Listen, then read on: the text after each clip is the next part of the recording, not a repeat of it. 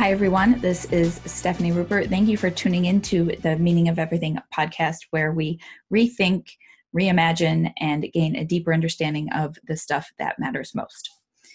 Today is episode number nine, and we have on Nathaniel Barrett, who is a researcher reimagining the way that we think about experience and cognitive science, and therefore creates really interesting pictures about uh, how we enjoy things and how we uh, enact our religious lives. So I'm super excited about that. I actually, so I first, okay, first and foremost, uh, throughout this episode, I live on uh, Oxford University campus, and at this time of day, unfortunately, there are often children playing uh, football, soccer in the fields uh, outside of where my recording studio is. So bear with me. I'll put myself on mute for most of um, when I'm not speaking, so uh, it doesn't bother anybody. Uh, but if you hear any whistles or kids shouting, that is why.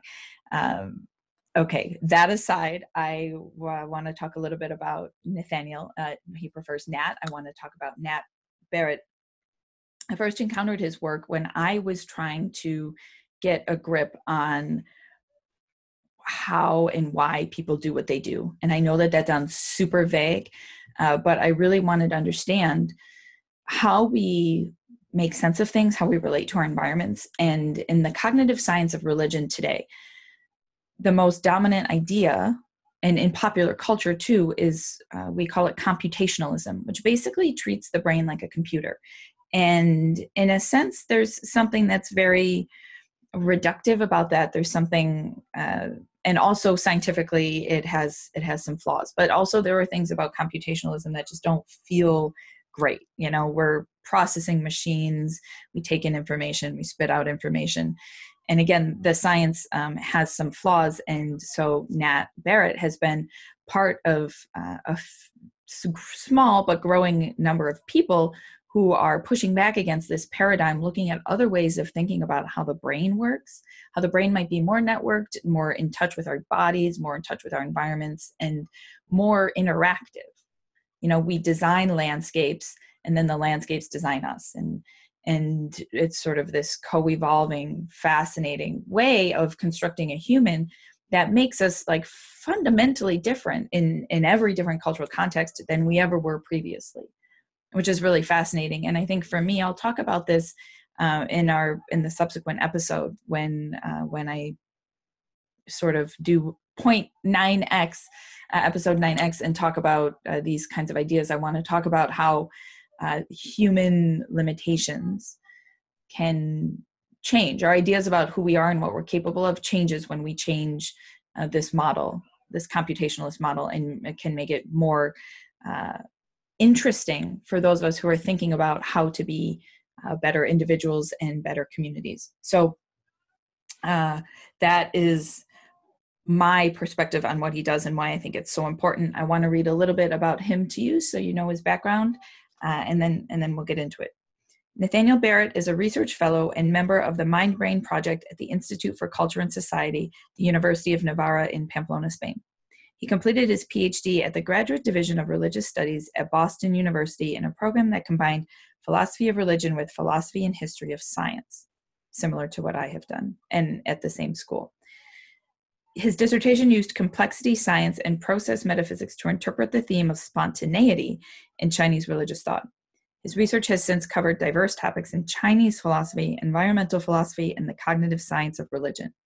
In recent years, his work has increasingly focused on philosophy of mind and cognitive science, especially topics related to affect, motivation, normativity, and value. He is currently working on a book about the nature and evolution of enjoyment. a few quick things our housekeeping before uh, jumping into chatting with Nat. Uh, I haven't mentioned this before explicitly, I don't think, but this podcast is on a number of different platforms. It's on as many podcast platforms as I can get it on, including Spotify. And importantly, is also on YouTube. So if you want to look at our faces while we're talking, I'm not sure why you'd want to see this, but if if you're interested in looking at our faces while we're talking, you can catch us on YouTube. I will provide a link in the show notes. Um, and I will have a specific URL. You can only have a specific URL for your show on iTunes or sorry, on YouTube if you are over 30 years old and I just turned 30. So I can get a URL, but it's going to take me a hot minute. So um, that is forthcoming. The show notes uh, where I can link to these sorts of things are at stefaniruper.com and then slash the episode number. So stefaniruper.com slash nine uh, for this episode. I want to talk a little bit about the different kinds of episodes. Uh, nine is here is our interview, and then in 9X, I mentioned earlier, um, I will talk, I'll, I'll will respond to reader questions. I might talk about something different. I might reflect specifically on um, this episode. It's basically just a space for me to interact more with the community and to share more about, uh, elaborate on why these ideas are relevant, how we can relate to them, how we can make sense of them, how we can make them important for our own lives. Um, and then finally, of course, as I always mention, as a gesture of gratitude for people who are helping me uh, promote this podcast by subscribing, um, but specifically by leaving a review. I am giving away free books, and I love sharing knowledge and, and my favorite books anyway. Books are always flying off my shelf. So if you leave a review of this podcast on iTunes, take a screenshot of it while you're making the review. Send the screenshot to tmoeverything at gmail.com. That stands for the meaning of everything at gmail.com. And then uh, then you'll be entered into uh, a drawing so i will and then every week i will do it i haven't yet begun uh, announcing winners because i haven't published any of these episodes yet because i'm pre-recording and so as soon as uh, people begin uh, being able to listen to the podcast and then submitting the reviews which will be in a few episodes then i will begin um, announcing the winners so stay uh, stay tuned for that the list of books is on my website at stefaniruper.com slash book giveaway uh, and they're they're lovely and fantastic. They span a wide range of topics, and they're all books that I adore. So that's that. Uh, hopefully, it hasn't taken too long. I've been talking quickly. I am really very excited. We get into some pretty like intellectual nitty gritty details here, uh, me and Nat, when we talk. Uh, but the themes are really accessible, and it's really important um, for understanding uh, who we are, and really interesting stuff about uh, how we experience things and how we can conceive of when people talk to God. So, um, very cool stuff. He, really excited. Here we go. And welcome, Nat. Hi, how are you? Good. Thank you for inviting me. Yeah, thank you very much for coming. It's not often that I talk to people close to my time zone. You're in Spain, yeah? That's right. Just an hour ahead. That's that's it's very lunchtime confusing. right now. yeah, it's lunchtime. Um, I usually end up doing all my, my recordings around like midnight because everybody's yeah. in California. Um, so uh, thank you for coming and thank you for your um, convenience. It's uh, yeah, it's it's nice. Um, so I usually I usually like to start these things by, you know, I, I gave a little bit of introduction both to your ideas and how I found you, uh, but I would always prefer to hear a little bit about it from uh, you personally. So, uh, if you could tell me a little bit about um, what you do and also why you do it, what your hope is for your work, like what is it about it that is um, compelling or important? Um, I know I know you might not. Most people don't want to say my work is really important, but I think it's important. So, um, yeah, go ahead. um, well, I, I, first of all, I, I guess I, I, should I should say I think of myself as a philosopher, uh, and and part of what philosophers do, uh, in my view, is is that we we we critique thinking and we develop new ways of thinking. Um, that the I guess although we don't always say so, uh, what one of the things we're trying to do with that is to improve thinking. We want to have better ways of thinking. Um, I should emphasize that in in my view, I don't think that there's a single. We should look for a single right way to think about, uh, especially complex topics like religion. Uh, um, I actually think we need to cultivate, uh, nurture diverse ways of thinking, um, and philosophers contribute to that by uh, criticizing existing ways, trying to make them better, but also introducing and developing new ways of thinking. I think that, that that's part of our job in the intellectual culture is um, to try out new ideas, um, which may not work in the long run, but uh, that's that's what we're here for, I think. Yeah, I also, as somebody who is in the world of philosophy or tangential to it, I think that that's really important. So, what like what are the key concepts that are fascinating to you right now? Oh, right. Yeah. So more specific. That was very general. Uh, so I, I would say that uh, at the heart of pretty much everything that I've done is the what philosophers call axiology, but it's better probably better labeled like theory of value and what is value and and does value uh, belong to the natural world or is it uh, a projection of human consciousness uh, where does value come from and so forth how do we experience it and so forth. So I, I'm, I'm sort of a, a philosopher i would say obsessed with value and um, that makes sense. It's i'm very much a product of my philosophical upbringing which uh, was uh, heavily sort of steeped in um, pragmatism especially peirce and dewey and also process thought whitehead is a major influence um, and so, in particular, uh, thinking about value, but not just not just value per se, but I'm very interested in um, thinking about value as something that belongs to nature uh, in a very deep and pervasive way, and is not a figment of our imagination or a projection of the of human consciousness, but belongs to the natural world that's very much a pragmatic or a process philosophy sort of orientation towards value. Um, uh, but I'm I'm also interested in, in in sort of bringing those kinds of arguments into conversation with co- cognitive science and philosophy of science and so forth uh, to show how actually trying to naturalize value can actually help us understand the way the mind works and what experience is like and so forth. So um, I'm just not, it's not just that I'm just trying to rescue value, but I'm also thinking that by bringing value into the conversation, a lot of other problems um, maybe become uh, more tractable. Yeah, it's not something that we think about a lot in like popular discourse, right? We're not reading op-eds mm-hmm. about the nature of value. But no, no not at all. But we as should, a, we should, and we should be because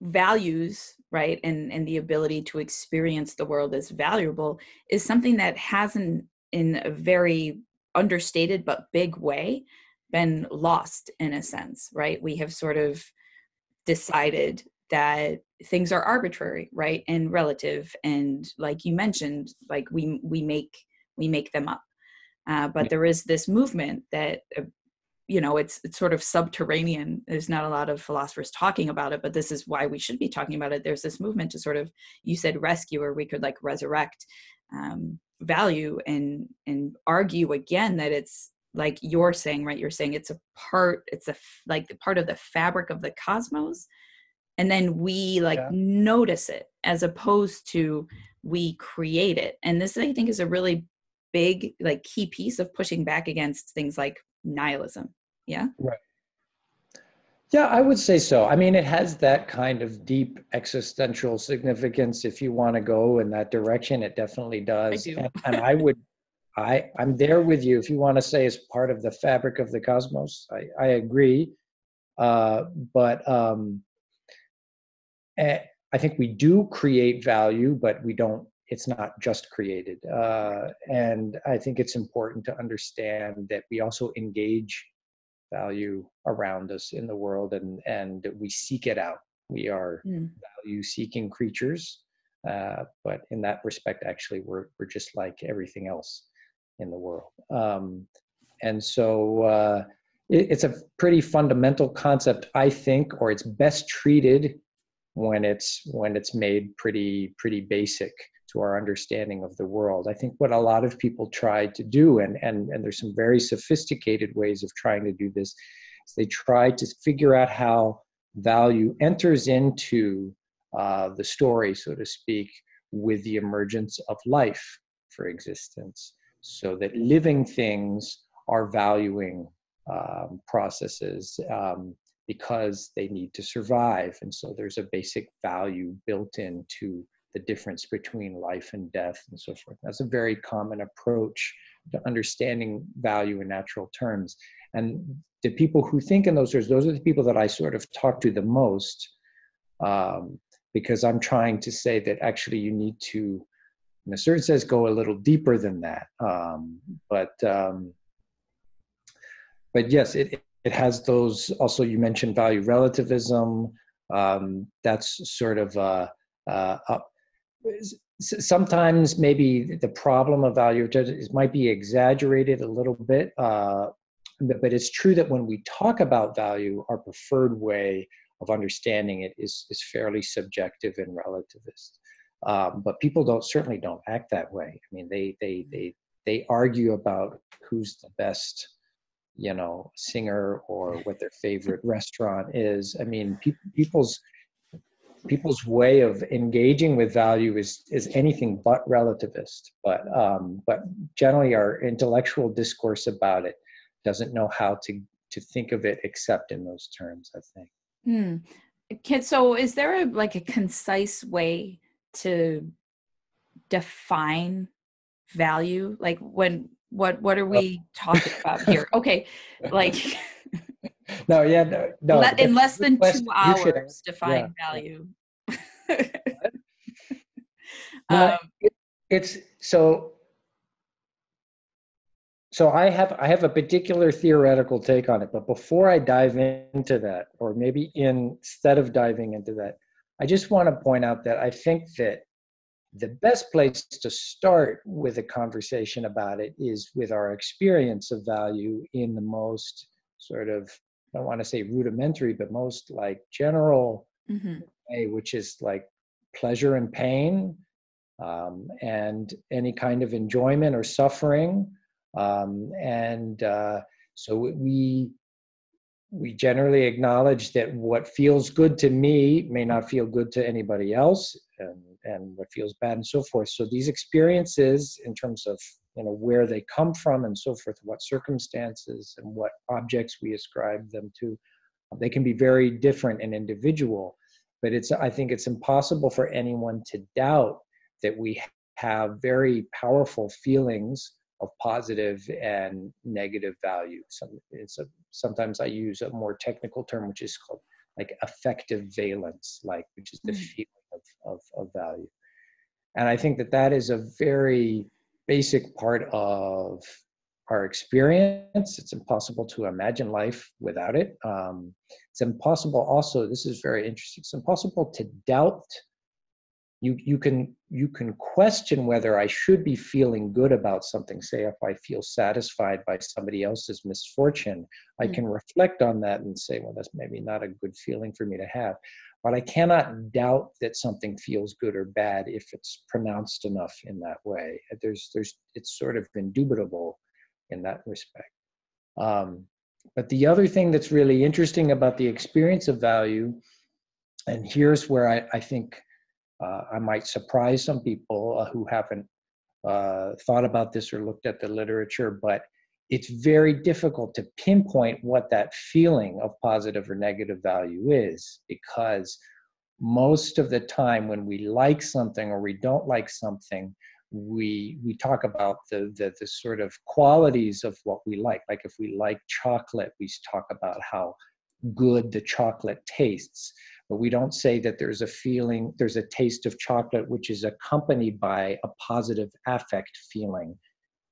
But in the science of affect and so forth, they often use that kind of language. They talk about like a, a, a gloss that is the sort of positive or negative feeling combined with a particular particular quality and so forth that's that's highly problematic uh, and philosophers who have really looked closely at what positive and negative feelings are have a lot of them have concluded that there is no quality that marks something as feeling good or bad which doesn't mean that it's an illusion but it it sort of deepens the mystery uh, about what is affect and so forth because it is not like discriminating a color or a taste or something like that. And yet, in some ways, you could say it's even more basic Hmm. uh, than those discriminatory capacities. So, um, it, so just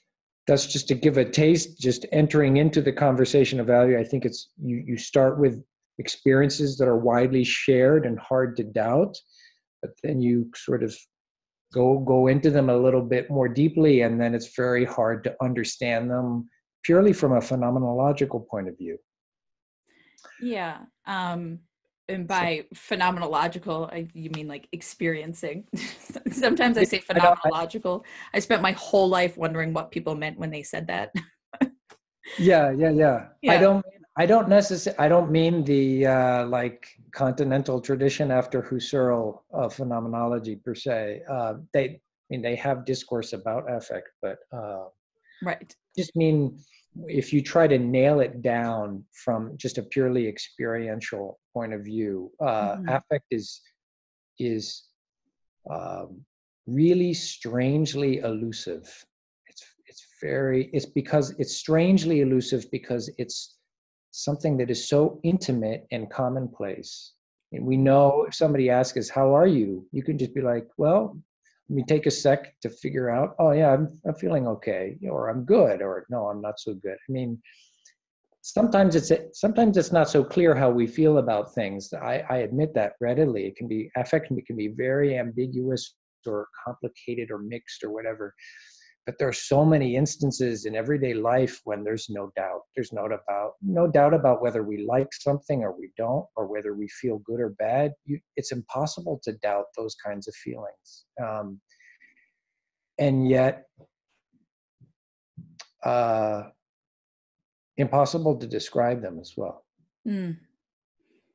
Yeah. So I actually I, I do I do a lot of work in affect as well. And have come to understand and this is perhaps now we can dive into you know um, evolution and stuff have come to understand that affects which is basically like our, our feeling like our general feeling affects are a part of our evolved animality right? They're like a part of how humans evolved like other animals to navigate the world right to sniff out what's a better or worse option for us um, and then has become deeply complexified as we developed you know in more intense uh, sophisticated perhaps cognitive apparatuses and had to then now right we have we have so many different ways of structuring our, our discussions about feelings and, and what they're all like but um, ultimately we're looking at like all things that humans are. Today we're looking at a combination of our evolutionary past and the ways in which our culture has sort of like built on top of that and our affects are just literally how we feel right? Yeah. Yeah um okay so you um the first paper of yours that i read was about the cognitive science of religion um, but specifically the the theories of cognition that lie behind it. And and you were critiquing the thing about uh, this the field and, and we can maybe dive into that but we really don't have to. Uh, but i think it's really important for us to acknowledge uh, or dig into the different the the new theories the new ideas that are emerging out of the the space of cognitive science. And it's a really big piece i think of how you're talking about value and how we like what we like and how we become who we become and how we uh, transcend perhaps you know if if we ever transcend anything. So um, sure. to start can you tell us a little bit about the dominant ideas the most popular ideas like the computational ideas about the brain and how it works. Okay so um, uh, I, the, the article you're referring to i, I wrote that uh, almost almost 10 years ago i guess Mhm. is when i might have started it um, and i've learned a lot more about uh, cognitive science since then although my, my basic picture of it hasn't changed. Um, and uh, cognitive science as a field was really brought into being by the computational theory of mind. It sort of served as the linchpin of a lot of different disciplines so that they could unite and work together in theorizing about what mind is, mind as it um, uh, sort of exists in nature, but also in artificial forms like computers and so forth. Um, and so, um, I mean, more than before cognitive science, I guess before the 40s or 50s, there wasn't a field of cognitive science. There was, there, there were various disciplines that are, are of course related and continuous with it. Uh, so comp computational theory is very important. Uh, one of the things that I would say more clearly than I said then is that computational theory, it's really a paradigm. Um, it's a classic Kuhnian paradigm. And so it's not something that you refute. Um, uh, you don't sort of say computational theory can't do this. Although, I mean, sometimes I think I would try to make those arguments. Um, but in order to be an interesting and testable theory, for instance, about the human mind, for instance, it has to be specified a lot. You have to say, what is computation? It's not easy to do. Uh, to say exactly what computation is. And then you have to have a theory about how it's embodied by natural organs of cognition like the brain. There are people who do that really well. Uh, and I think actually I've read a lot more about that uh, since then. Somebody I really recommend is Piccinini, is a philosopher who writes about what computation is and how uh, he thinks, why he thinks that the brain is a computational organ. Um, I, I, I still disagree, uh, but um, I, I want to emphasize that computationalism is is is is it's like a research program or a paradigm. I mean, and it's always evolving, and it and it's a moving target, so to speak, for for for those of us who are critical. And I want to say that it, in, in, in the computational theory of mind always had competitors that in the 1980s, in the 1990s, it seems to me, although I'm not a historian, that it so dominated certain disciplines that that people really didn't think there was anything else uh, out there. There was, and there's a phrase called "the only game in town" that they used to, to describe that dominates. And so, and that was never the case historically. There were always other theoretical options that were not computational. But um, since the 90s, they've gained ground and they've sort of come they've gained prominence so to speak and and enactive theory is a prominent one um, uh, ecological psychology was always around but i think it's gained a lot in prominence maybe. Um, in just 10 years ago if i talked about ecological psychology people would say but that's been refuted. Nobody that's just like that's like a museum piece. I don't think you can say that now. I think it's it's come back uh, um, into the maybe not the mainstream, but it's making its presence felt. Um, and there's also been a lot of work on, uh, and this is this overlaps with ecological psychology and active theory, but also dynamical systems-based approaches to cognition. Thinking of the work of Kelso uh, and others, and um, so there's a lot of legitimate scientific work that is not based on the computational theory of mind, although computationalists will often dispute that, that, that it's just a different description of the same kind of phenomenon. Um, and so getting, getting to cognitive science of religion, it's very, I think historically it's important to understand that that field emerged during the heyday of a particular kind of cognitive science that, that is sort of the computational adaptationist version of evolutionary psychology. And so it sort of established itself as a field in that theoretical context. And now it's changing. And one of the things that I've advocated for in that article and some other articles is that as the landscape of cognitive theory changes, there's no reason why cognitive science of religion shouldn't change as well to adopt other kinds of theoretical perspectives and other strategies for studying religion that, that might be uh, equally scientifically valid. Um, and I think that that's that continues to be the, the, the part of that article that I would I would sort of emphasize is is that um, there's no reason to hold to a computational platform as if it were uh, dogma. Yeah. Okay. So then I agree with you absolutely. Great. Um, uh, and basically. I, I recently I wrote a paper that basically was rewriting your paper. I mean, it wasn't, but you know what? Sometimes you write a paper and you're like, "Wow, I'm basically rephrasing something that somebody else said." Uh, I do it all the time. I think it's it's it's unavoidable in our field.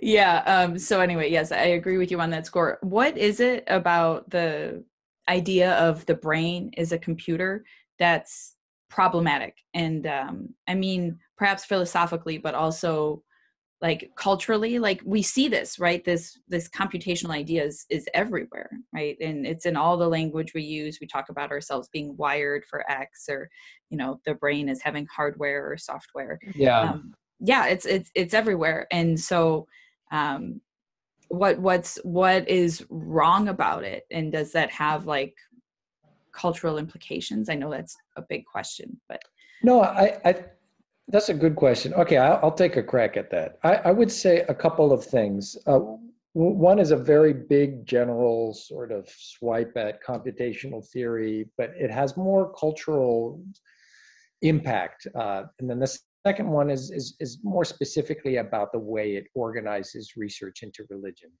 So the first one has just to do with uh, experience. I, I mean, I, I would say that if you look at any definition of what computation is, look at Piccinini's definition um, or anybody else's, and you can see that in principle, there is no reason why those kinds of operations should be uh, should have phenomenal properties or whatever you want to call them. There's there's there's no in principle there's no way to accommodate experience on the computational view. Uh, the computationalists can probably say, well, you too, because because nobody can accommodate experience from a scientific point of view. I'm not sure that that's really fair though, because there are a lot of different theories about the way the brain books and some, brain works, and some of them really resonate in powerful ways with how consciousness feels. I'm thinking of, for instance, Gerald Edelman's and Tononi's work on the dynamic core hypothesis um, that was a that was a theory developed in conversation with William James's stream of consciousness essay and designed to sort of register a lot of those phenomenal properties of of, being, of, of, of our experience. So I, I, don't think you can just say, well, everybody's in the same boat. Nobody has a way to connect science with with experience. Um, and I think that the cultural impact of that is that we are encouraged by computational sort of frameworks to discount our experience. That's not really what's going on in our in our minds. That the real stuff is below the surface. Uh, it's it's unconscious inferential mechanisms and information processing, and our experience of the world is a sort of like uh, at best it's a sort of like a show put on uh, uh, for what purpose it's not clear um, but it's it's not uh, the meat and potatoes of of cognition, and and I think that that um, well, some people get upset about uh, issues of free will and so forth. Um, I, I, don't particularly take up that fight myself, but but uh, definitely there is a kind of there's something alienating uh, because of the way experience cannot be treated as, as cognitively important by computational theories. At least that's that's my view of them. Now, the more specific critique that has to do with religious studies, I think you know that really well. That has to do with the way that information has to be constrained, in my view, in order for it to plug into the computational mechanisms of the mind. So they, they, there's some way in which I think computational approaches they really constrain the mind world relation. They need it to be sort of uh, fixed in certain ways so that the computational operations can can work and be grounded uh, in the world and help us do what we need to do. They're really problem solving. Uh, computation is, is are usually it's it, it it views mind as a kind of problem solving, but those problems have to be already pretty well specified, and the information we need to try to solve them needs to be pretty well specified so that we can go about that kind of computational process. And I think that the world is, is a lot um, it's a lot messier in a certain way, but in another sense, from an ecological perspective, there's actually a lot more information out there uh, for us to select from. And so, um, and s- selecting the information that we want to engage that interests us, uh, I, I tend to think that that's very hard to do from a computational point of view. And that constrains the way we look at religion in many ways, I think, because it, religion becomes increasingly, it's something that's happening in the head.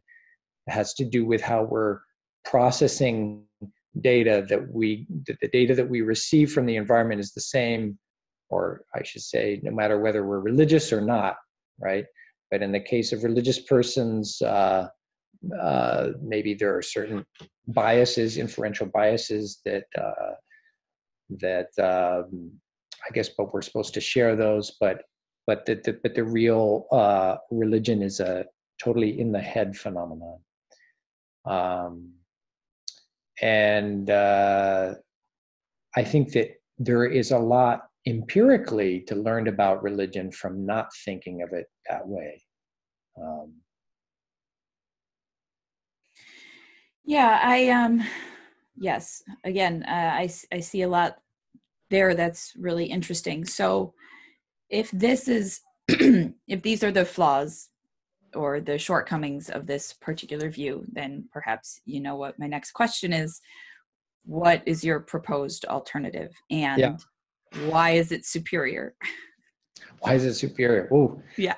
What no, I'm going to dodge that question a little bit because I think I think my job as a philosopher is not. I mean, I really, I mean, I'm I'm with respect to, to religion, let's face it, I, am an armchair theorist, right? So my, I mean, I have a lot of respect for people who do field work, especially ethnography, and um, but also, I mean, in cognitive science, there's both lab work and field work, and and and I'm playing with ideas in the confines of of you know the library, and so um, what I'm trying to do is, is to point out that um, different ways of thinking about how the mind works may orient our empirical studies, including even field work, differently.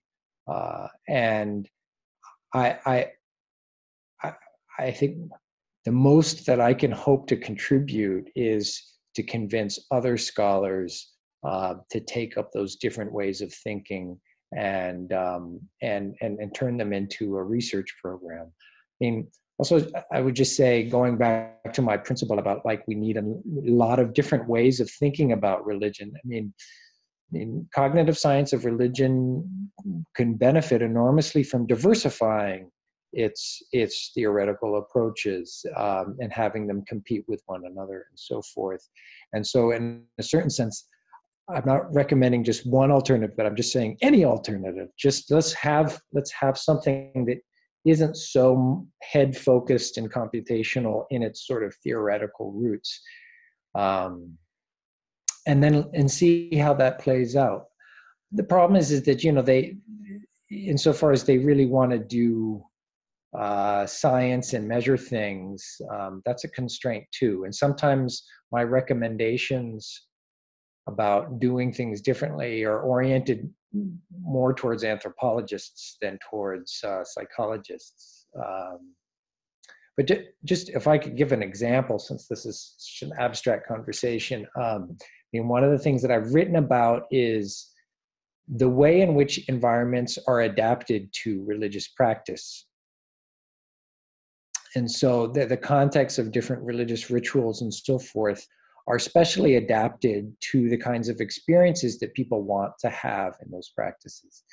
if you think about experience as something that's entirely manufactured by the head rather than a product of interaction with uh, a complexly structured environment, you're not going to pay as much attention to the way in which environments are being adapted to the experience.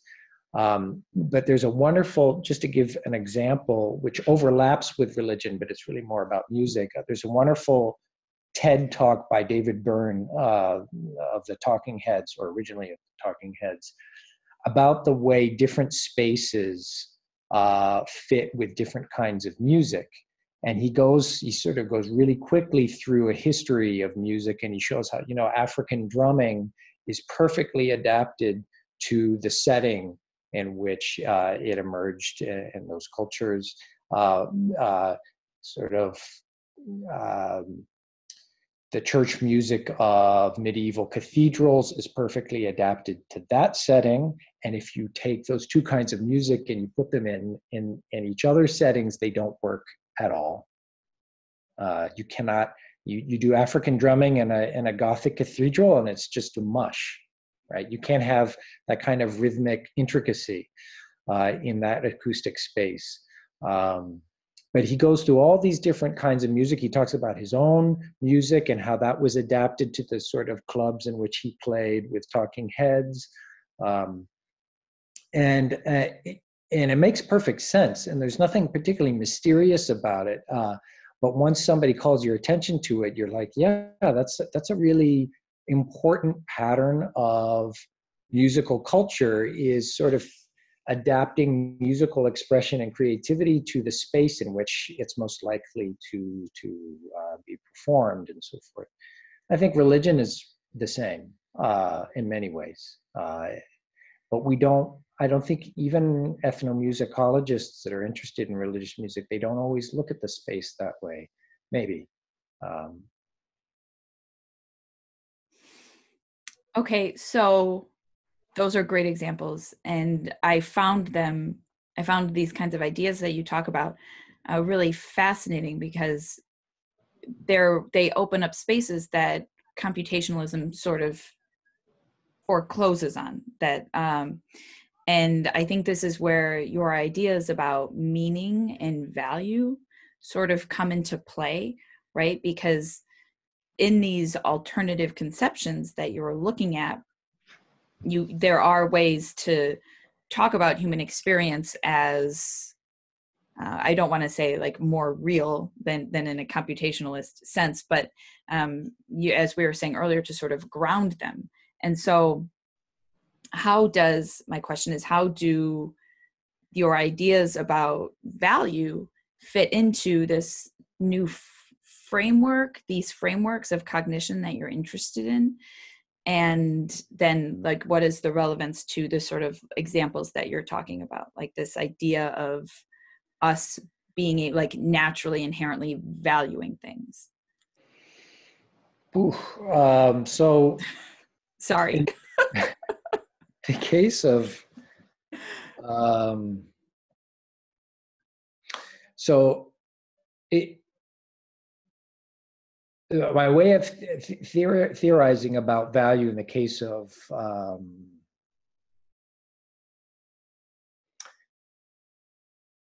in the case of religion uh, and then more generally uh, so uh, it's, it's maybe easier just talk about religion. One of the things that i've argued for is that um, re- religious practice can be an intrinsically motivated activity, much like other activities uh, like music or sports or you know a lot of things that we do for fun. Um, and I'm not saying that it always is that way, but certainly a lot of practitioners want it to be that way. They want it to sort of come alive, excuse me, and have a kind of uh, rich texture that um, that sustains the practice uh, makes it intrinsically worthwhile. Um, I mean, you could say, no, no, no, it's, it has an instrumental value because they're trying to get something through the religious practice, um, like, you know, appease a potentially, you know, angry and vengeful deity or something. That could be, uh, but I, I think for a, the most part, uh, people look to religious uh, ceremony and festivities and rituals and so forth uh, for more immediately enjoyed values. Um, and when they don't have them, uh, they want to adapt themselves to, to the practice or they want to adapt the practice to them. This is sort of a two-sided affair in order to sort of tune up that, that interaction so that it's rich, richly rewarding. Um, not in the same way necessarily that uh, a musical concert is, but I think that thinking about these other ways of tuning up our enjoyment of, of events is a good place to start. Uh, and then we can think about what might be distinctive in the case of religious enjoyment. But um, uh, so I, I, mean, so just just to begin with, I, I, I urge that we we look at you know religion as uh, intrinsically uh, motivated, and then what goes along with that is that uh, there are certain, of course, um, meanings uh, or uh, uh, ways of understanding life or our relationship uh, with God or with um, or some ultimate reality, which we want to. Um, I think religious people want to perceptualize them. This is a word that I'm using in a specific way, which is that they don't just want to think about it, but they want uh, to make it sort of experiential for them. Uh, and I really, I think a wonderful book to read about this is Tanya Luhrmann's When God Talks Back, which is about how a kind of evangelical charismatic practice um, uh, uh, involves a process of learning by which people come to be able to discern God's voice in their own thoughts. And uh, that is, she says something uh, in a talk of hers about how that's how they use their imagination to develop a, a sort of way of experiencing and interacting with something that they do not think is imagined. And I think that that's something that uh, a lot of religious practices share. In this case, she's pointing to a practice which is largely directed towards the inner life, you could say. You know, it's continues with Ignatian spirituality and those kinds of techniques. And a lot of religious traditions develop those sort of inner mechanisms for sort of visualizing in meditation and so forth. But I would say the great majority of religious practice makes use of materials in the environment to perceptualize religious meanings uh, in lots of different ways. And so, I mean, everything from sort of the the simplicity of a Quaker meeting house is is intentionally designed in su- such a way uh, to uh, facilitate the kinds of experiences of God that Quakers are seeking. Uh, but in very different cultures, uh, you have a very different environment um, that's tailored to a different uh, experience. But in all cases, uh, it's the experience that is being taken care of and uh, you know, they have different ways of thinking but they want to put that those thoughts into their perceptual experience somehow and so how how is that possible like to manifest you're saying that there's like a desire that is there a desire that motivates this imaginings? Like what what makes it happen? Or is it because it's in our environment and as as we're growing up or something right? Like how how does this um, voice get created or become real? Oh uh, you mean in the case of religious practice? Sure it, yeah. Yeah. Well i think i think for most of human history it's something that that people grow up with uh, in their in their cultural environment and it's just something they pick up. Right. Uh, but so like how are they how is this different? Is this any different say when you hear god talking to you? Um, is this in any way different from when you hear how is it different from when you hear another person who's in the room with you talking to you right? Oh, um, well Luhrmann's book has a lot of detail about that um, and they don't mistake god's voice for somebody behind them you know right. it's not it's not the same thing uh, and it's a and it's a it's a lengthy process of discernment, and um, they have language for talking about how they sort of tune in, uh, and it's um, uh, so th- there is a sense in which it's distinctive um, and it's not to be confused with everyday conversations. But nevertheless, um, it is supposed to approximate a certain features of our experience of a normal conversation. So it shares something uh, perceptual uh, mm-hmm. in, in, of, of a perceptual nature, I should say, with everyday conversation. Um, uh, yeah, I mean, I, I mean, I, I've also I've thought a lot about how music is used in ritual to simulate the presence of maybe spiritual beings or to simulate or to to to, to affect a feeling of unity of like uh, shared consciousness. And there's a lot of work that's done on that.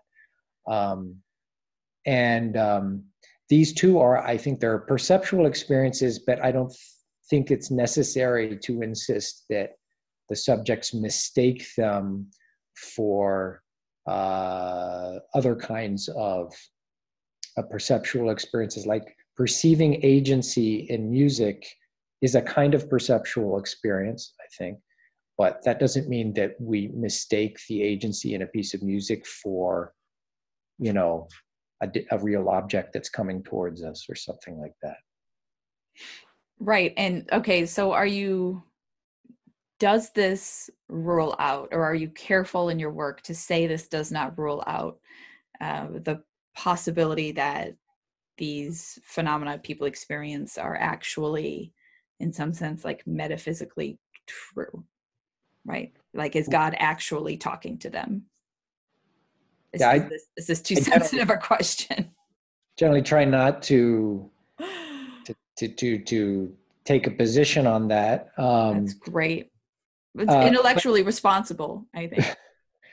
Uh but I, let, let, well let me just uh, let me back up my, my, my work on religion is naturalistic. And one of the things that I'm trying to do is show that within the limits of what can be said about religion naturalistic, there is a lot to explore. And that depends on our theoretical framework, but also, and also the, you know, which also interacts with the kinds of uh, data or whatever that we, we look for. Um, and so um, you know uh, just to take Tanya Luhrmann's work as an, an, example again, I mean, she was she was very interested in how these people learned to experience the voice of God, uh, and she approached it as a process of learning, which some people might think is incompatible with their understanding of that as a gift of grace, but I don't think that her subjects thought of it that way. Um, uh, so she she was able to to leave that open, um, and I think I think that that kind of work is enormously important for understanding religious cultures from the outside uh, and for respecting them without necessarily accepting their what you call metaphysical claims or theological claims. Um, uh, so that's yeah, that's yeah. No, uh, sorry, I you know I didn't express my motivations in asking that question, but you know I think in our common dialogue, you know, about religion and, and religious beliefs, uh, you are either studying it and sort of hold it at a distance and it's like alien or stupid right? Like literally in our culture um, or you love it. And there's not a lot of space being held for in between. And i just i want to demonstrate to people that there is actual like that space actually exists um, where you can be like respectful and thoughtful about people's experiences and what might be very valuable or true about them and still study them and want to understand them even in you know in a in a scientific way. Um, and so i yeah i really appreciate that. I agree that, that no i i agree and i think that that space is actually it's shrinking which is very i think it's important for uh, people to to try to enlarge it uh, because uh, it's very important. I mean, a, lot of religious dis- discourse about religion is too fixated on the question of its truth. Uh, not that that's not important, but what happens, and this is related to you know the questions that really matter to religious practitioners, is that you get you get to a point where there's such a cultural divide it's not so much that people are really interested in arguing about whether a certain theological claim is true or not, but they just have this attitude that, but like, why would you even want to believe that? It's so silly. It just doesn't, it just, it's meaningless. It's meaningless for outsiders. So it has no meaning or value to them, uh, a lot of theology, and they just think it's childish. Um, that's that's not so much the same as saying it's true or false. It's just like it's it's too silly even to care. You know, um, that's a that's a major cultural divide when you i mean and that's different i think from discussions about belief and unbelief that maybe happened in centuries past where there was oftentimes from more sensitive uh, atheists a sort of nostalgia and a kind of well i wish i could believe that that were true uh, but i just can't because the facts have moved me uh, you know to another position. But now it's just kind of it's it's not even like i wish i could i could share this belief. It's kind of like well, that's you know? Yeah it's it's dismissive as opposed to um empathetic or considering you know? Yeah. and i mean empathetic in the sense of wanting to understand absolutely how and why that's valuable um, i you know not not to keep returning to her but she has been she's a good example. Lur, tanya luhrmann got a lot of criticism from people who felt that she wasn't critical enough of the charismatic evangelical sort of tradition that she was trying to understand.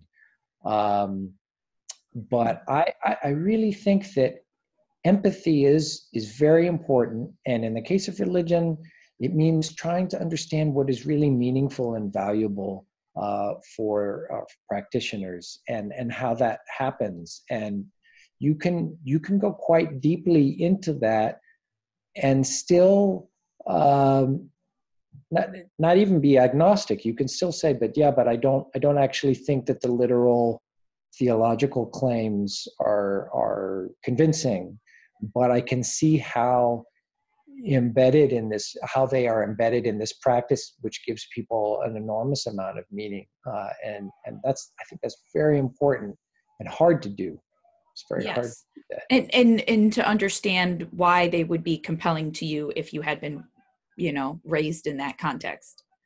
Right. Yeah. Um, yeah, that's very important. Um, so I realize that we have actually been talking for a uh, longer time than I said. I was I was telling Nat earlier. I always try to limit these to 47 minutes, and I never make it ever. Right.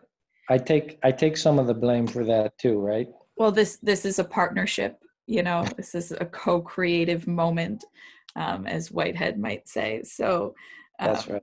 Yeah, so uh, we we hold dual for that, and there are so many um, so many fascinating things uh, here that we talked about that didn't we didn't get into but in the future all of these things we um, we will be discussing. So do you have um, maybe like your academia.edu site do you have somewhere where people can engage your work if you want if they want? Yeah I, i'm on researchgate and academia um, i think those are the best places to find stuff uh, okay Great. Yeah. Um, I mean, usually, so I have another um, I have a podcast in um, in women's about women's health and women's issues, and everybody always has like a long list of social media profiles that they want to be followed and videos yeah. that they want to be liked. And now I talk to academics a lot, and I'm like, well, you have like papers, right? So, um, yeah, and and they're they're technical, but but really.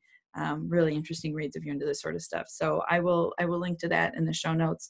Of course, you can uh, find me at Stefani Ruper uh, and on the social media profiles. Um, and you can be watching these on YouTube or listening on any of the platforms. I will also, again, link to those in the show notes, will, which will be at stefaniruper.com slash um, nine. I think I said this was episode nine. Um, so again, uh, thank you a lot, Nat. This has been uh, wonderful uh, for me. And thank you to everybody uh, for tuning in. I will talk to you next time. Take care. Thank you.